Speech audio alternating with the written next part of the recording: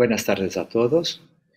Os dizia que Francisco é um amigo muito próximo, membro da secção portuguesa hasta cinco anos, um membro muito dedicado, muito, muito empático com nós outros, com todos, e muito, muito organizado em seu trabalho teosófico vive en Lisboa, cerca de Lisboa, y es con satisfacción que lo recibimos y que le, le damos la, la, palabra.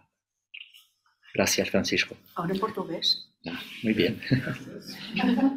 Acolhi o Francisco eh, de uma forma necessariamente afável, necessariamente não por obrigação, mas pelo facto de o Francisco ser um amigo próximo, dedicado muito empenhado no trabalho ao qual vulgarmente chamamos teosófico, e, portanto, é com satisfação, com alegria que o recebemos nas Jornadas Ibéricas e, e é igualmente com muito prazer que vamos escutá-lo a partilhar conosco uma série de ideias sobre uh, o contacto com a natureza e o facto de esse contacto poder favorecer aquilo a que chamamos a experiência mística. Obrigado, Francisco. Como diz a Ángeles, és todo tu. Boas tardes a todos. Antes de iniciar, eh, pretendo agradecer à direção da Sociedade Teosófica Espanhola o convite que muito me honra. Graças. Vou então passar ao tema a integração com a natureza como experiência mística. Considerando que vamos entrar na natureza, na floresta, proponho alguns segundos de silêncio. Graças a simbologia que está por detrás é uma, um pedido de autorização aos habitantes da floresta, já que vamos falar da floresta.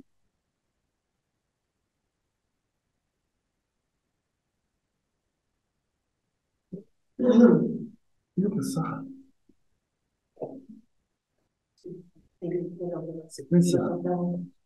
Sequência. Passa o Puede pasar. Puede pasar el, el, no está funcionando el pase de las cosas, de las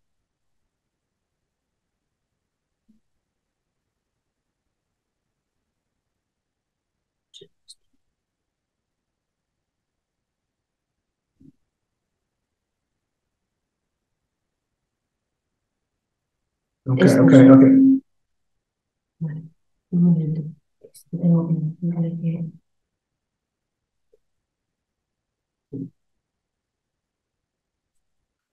A ver, ahora, ¿habla?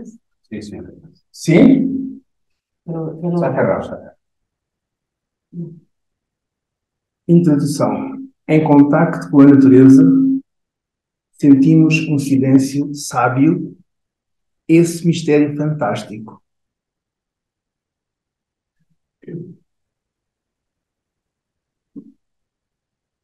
Ao ligarmos ao meio envolvente, aos reinos mineral, vegetal, animal e humano, experienciamos uma fusão misteriosa, equilibrada, na qual os elementos fogo, ar, terra e água surgem numa harmonia subtil.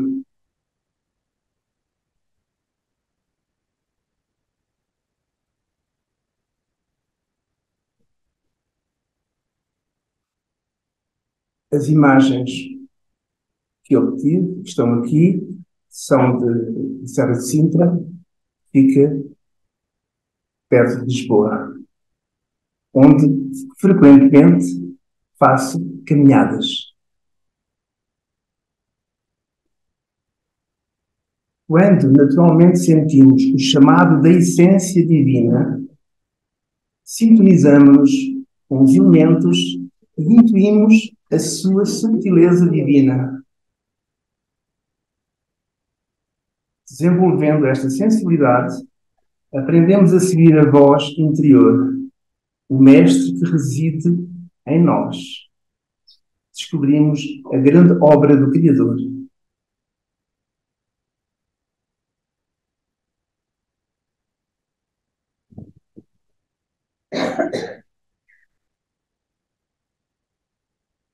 A menor partícula constituinte da matéria, e com alguma autonomia, é o átomo, elemento fundamental da estrutura que permanece em vibração constante no movimento celular, conferindo a forma física densa à matéria.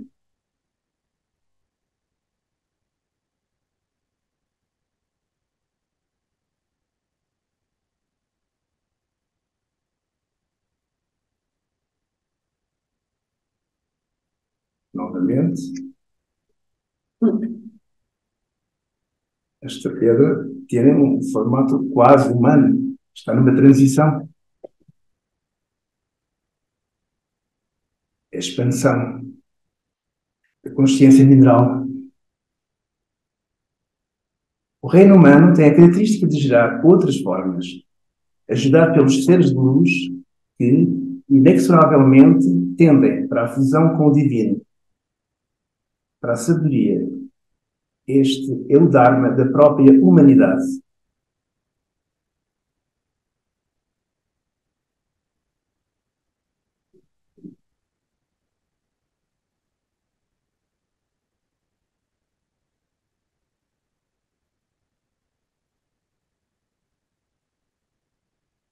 Aqui estou eu, eu, com uma outra pessoa, numa praia de Cabo da Roca, ponto mais ocidental da Europa. Cabo da Roca, Sintra.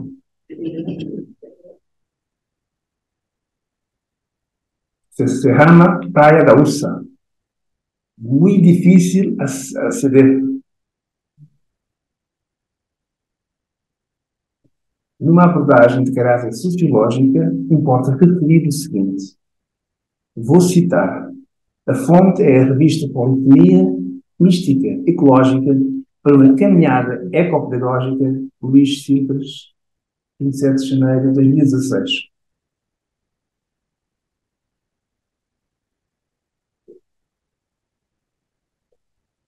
A espiritualidade é um elemento constitutivo da condição humana e por isso está sendo proposta por meio da prática e do conceito mística, que é um, um constante processo de iniciação e interação com o mistério. Pode ser exercitado tanto na relação subjetiva, na conexão intersubjetiva, na interação com a natureza e na contemplação do sagrado.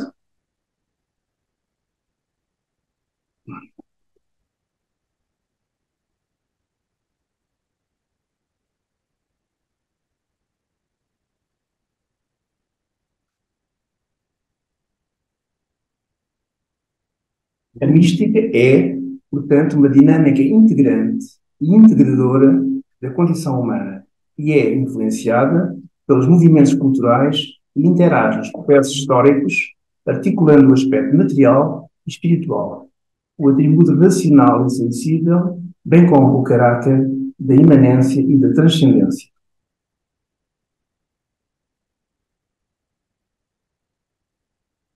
Fim de citação na mesma praia. Passamos então ao reino mineral.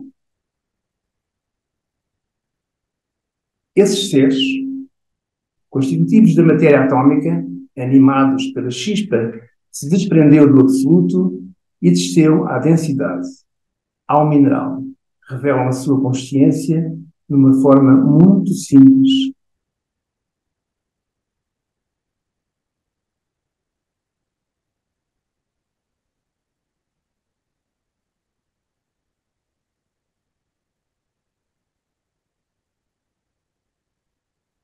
Esses seres não têm livre-arbítrio, contudo, possuem memória a partir da qual se expandem, introduzindo transformações na sua consciência.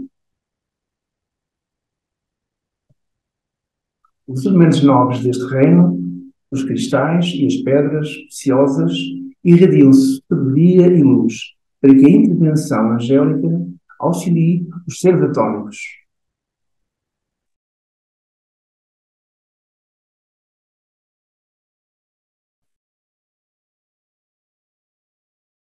Deste modo, que o corpo de um homem, do mesmo modo que o corpo de um homem é somente a sua forma material, a mente mineral corresponde aos estados ou condições das unidades, entidades e suas combinações, as quais animam as formas.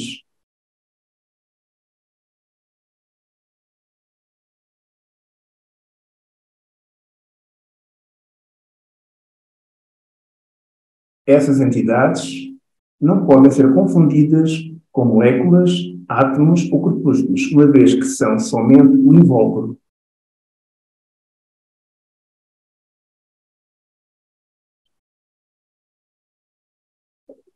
As entidades do reino mineral exercem silenciosamente e de forma não visível a sua dinâmica ao escolher os átomos e as moléculas para se ligarem entre si.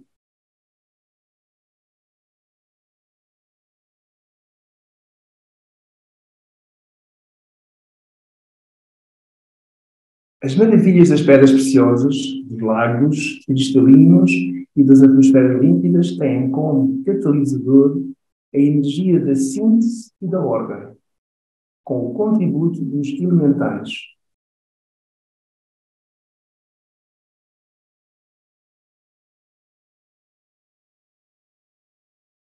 Desenvolver a harmonia com este reino passa por interiorizarmos que em cada partícula mineral existe materializada a força do espírito.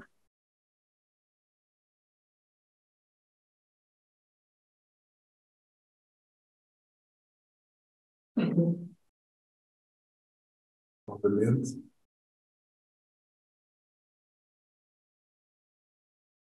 Reino vegetal.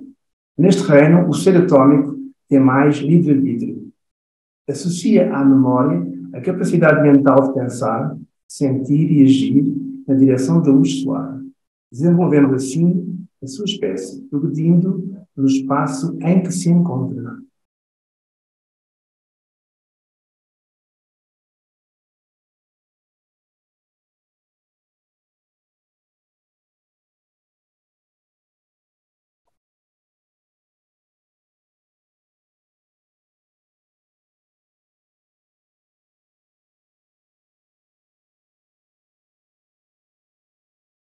Popularidade da abordagem da bióloga italiana Mónica Gagliano consiste no pressuposto de que as plantas são seres indivíduos que aprendem.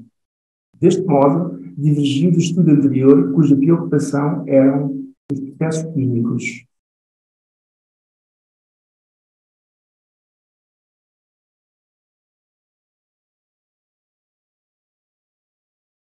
Assim, a referida bióloga afirma que as plantas estão alerta aos estímulos do meio, os quais geram reações ativas. As plantas têm capacidade de compreensão, audição e movimentação.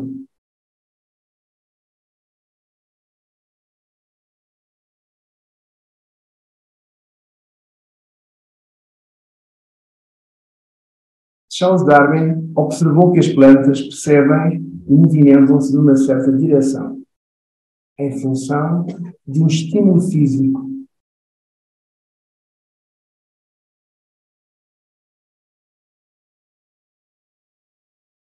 Segundo a bióloga Gagliano, estas investigações são importantes para conhecermos melhor as plantas e aumentarmos a nossa sensibilidade na forma como lidamos com elas.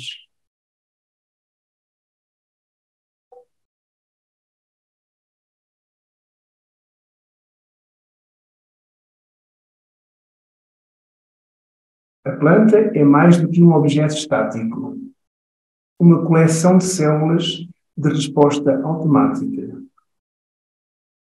As plantas são indivíduos, seres sencientes.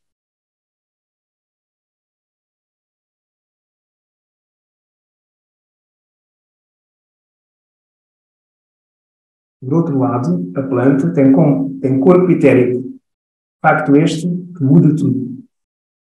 Esta capacidade etérica atua com o meio ambiente, via corpo físico da planta. Daí as diferentes morfologias e altitudes das plantas da mesma espécie.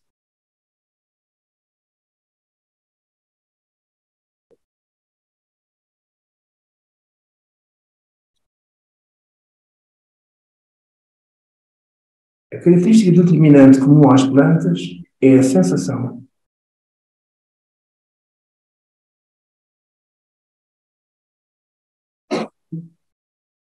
Uma imagem do, do Oceano Atlântico, através das árvores. Reino animal. Neste nível, o desenvolvimento animal, os seres reúnem a memória, o pensamento e a procriação manifestam desejos, emitem sons expressivos da sua vontade, contudo, o uso da memória é ainda muito rudimentar.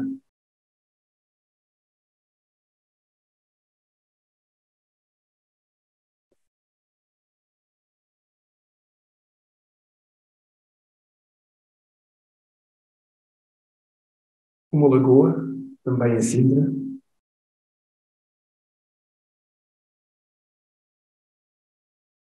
Este reino faz charneira entre o reino vegetal e o reino humano. Os animais ativam e estimulam a vontade.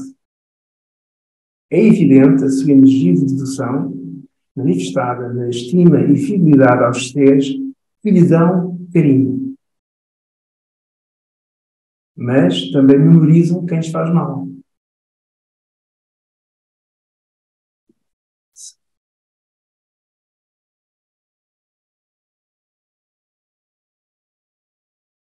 É importante a nossa dedicação e gratidão no relacionamento com os animais, pois desempenhamos um papel crucial na sua transição para um nível mais evoluído.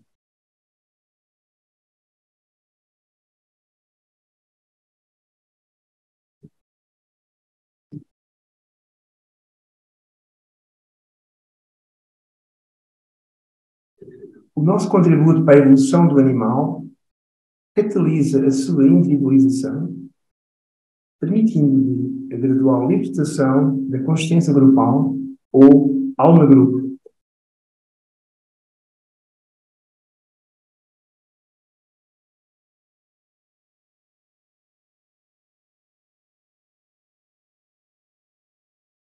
O meu cão, da minha filha, minha filha Adriana,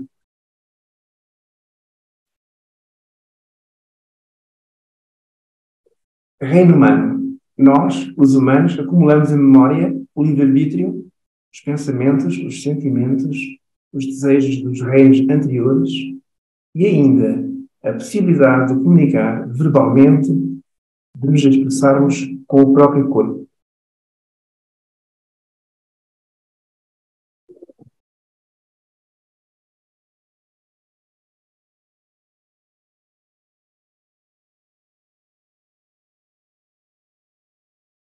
Reino humano, temos a faculdade de nos relacionar com todos os seres. Uma característica distinta dos seres dos outros reinos é a capacidade de criar. Com essas faculdades, será possível estimular e obter a ajuda dos seres de luz para criar ou alterar os seres do mundo atómico, isto é, da manifestação.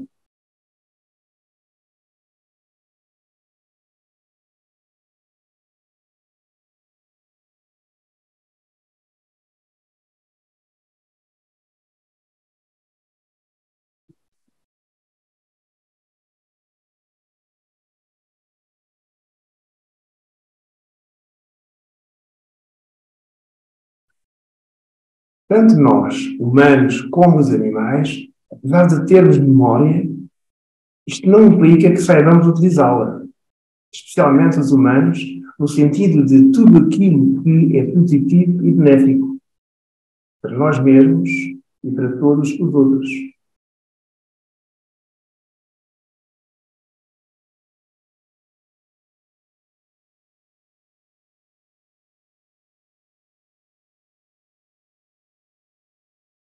Na escala evolutiva, o ser humano tem uma função determinante, por ter uma consciência que possibilita a capacidade de olhar para a Terra como um todo,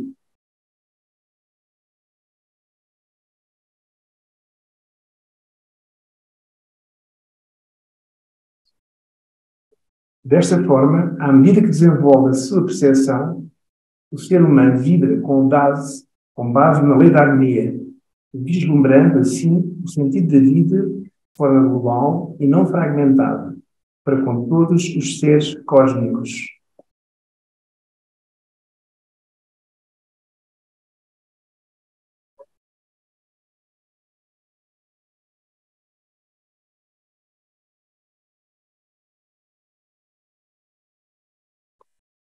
Os seres humanos funcionam como um elo entre a vida espiritual e o plano material, isto é, têm a capacidade de promover a transição do seu estado de consciência no âmbito das leis naturais para um registro das leis supranaturais.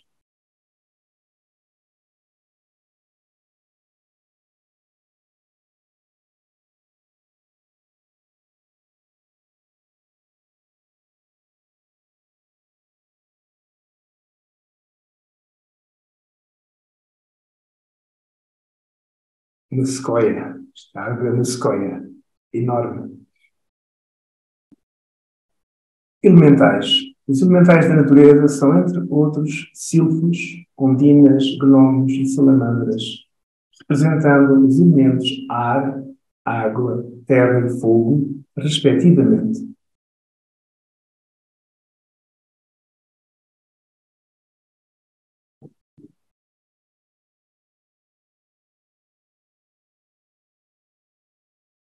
Estes seres sem corpo denso ajudam o desenvolvimento da natureza. Vivam, vivem no eterno presente e manifestam-se de forma transversal em todos os planos.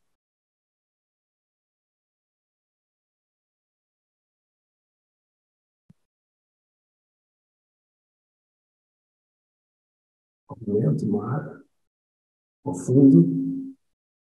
A filosofia hermética considera que o universo pode ser dividido em três grandes classes de fenómenos. Os grandes planos: físico, mental e espiritual.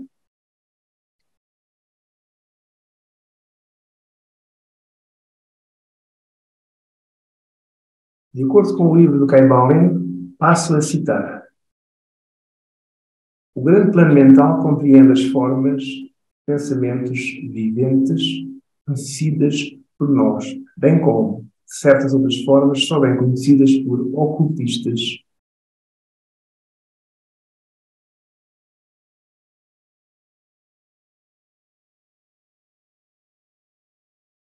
A classificação dos sete menores planos mentais é mais ou menos satisfatória e arbitrária. Contudo, vamos mencioná-los. Eles são os seguintes. 1. Um, o plano da mente mineral. 2. Planeamento elemental A. 3. Planeamento vegetal. 4. Planeamento elemental B. 5. Planeamento animal. 6. O planeamento elemental C. E 7. O planeamento hominal.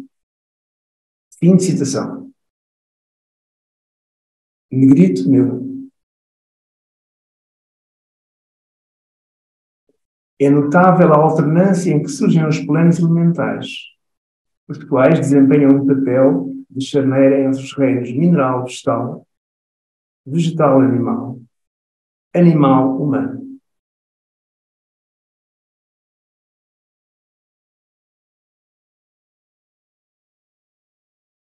Sendo invisíveis, os elementais, na verdade, ajudam o desenvolvimento dos diversos reinos. Desta forma, tem uma ação importante no universo.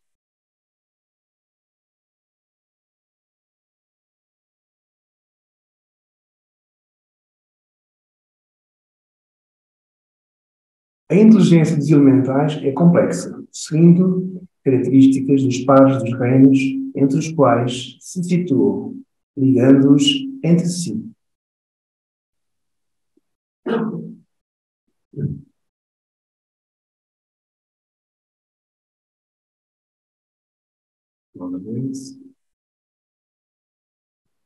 Uma bela paisagem.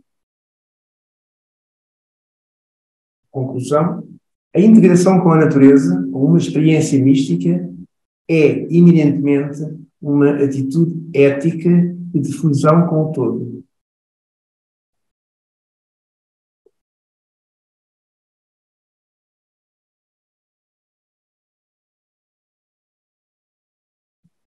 Consciência de sermos um contínuo energético e a consciência da não separatividade permitem compreendermos a nossa integração na unidade absoluta, na vida una, como uma verdade divina.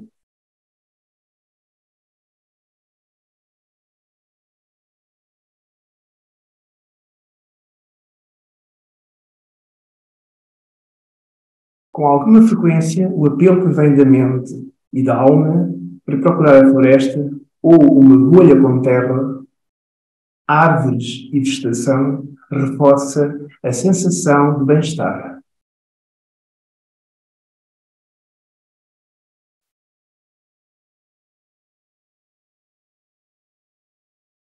Essa necessidade de bem de floresta constitui uma necessidade de regeneração física e espiritual, a qual promove a vitalidade.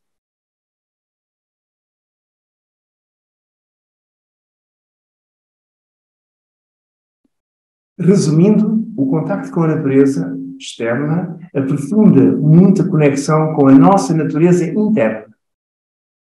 Na verdade, quanto mais dentro, mais fora. Ou seja, ao harmonizarmos com o nosso interior, esta paz repercute-se no meio envolvente.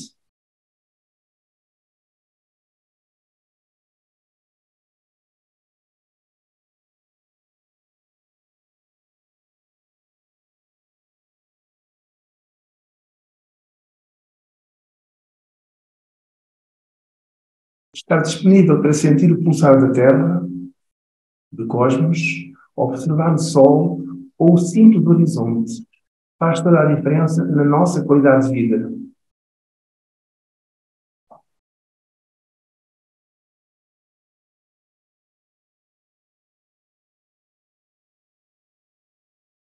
Saia do sofá e caminhe. Sinta o vento na sua pele. Ouça o barulho das folhas das árvores. O cantar dos passarinhos. Viva a vida. Está vivo. Gratidão por terem escutado. Paz a todos vocês. Graças. Graças.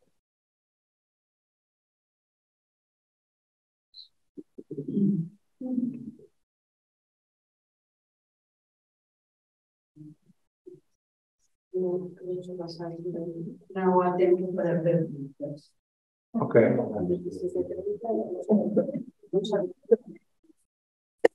Posso? Posso ir? Ok. Tudo bem? Está bem? Manuel, guarda.